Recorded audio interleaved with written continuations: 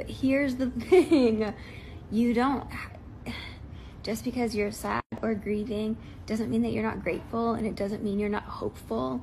It doesn't mean that you still aren't fighting for your life, that you still don't have it in you to keep going.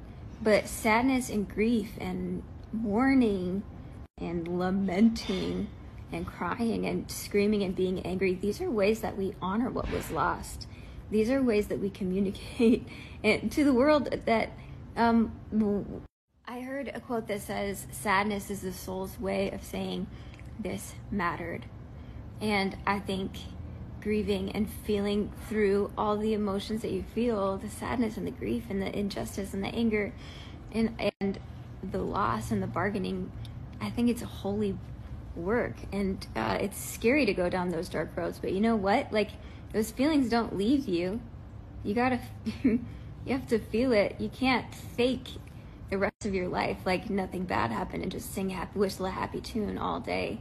That's not what it is to be human. So um, everybody who might be getting a dose of this whole toxic positivity just be happy be happy be happy. You don't have to do that. You don't have to do that and you don't have to feel guilty for being sad. That's something i struggle with a lot.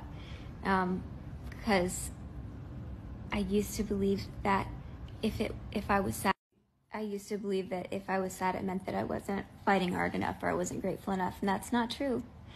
Be sad and be grateful and look at the twinkly lights and feel your feelings. And it's all real. The joy and the pain it's all real. And you don't have to pick one or the other. Life is beautiful or life is garbage it's kind of both sometimes. Love you guys. Thanks for um, listening to my ted talk from bed talk